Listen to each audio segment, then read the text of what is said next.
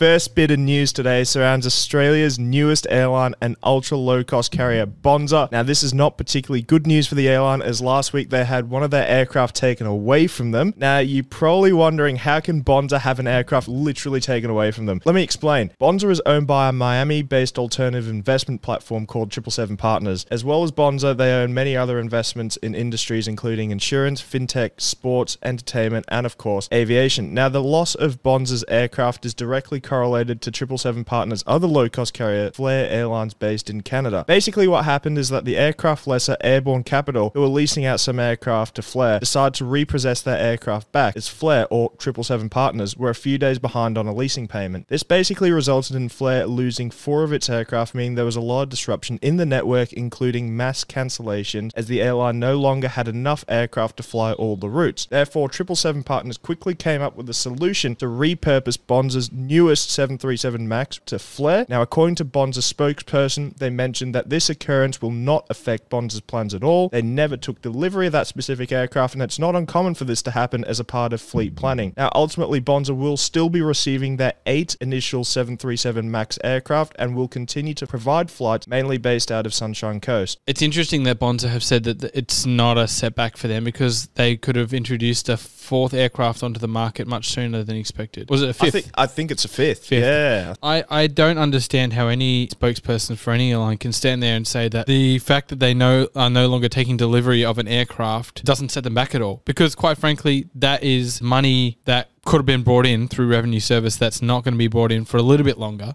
until the next air- aircraft is delivered. Exactly, yeah. And what I was going to say is they would have planned to have more frequencies on routes or to have more routes, for example, and they're not able to do that at the time maybe they allocated to because now this delivery has been pushed back.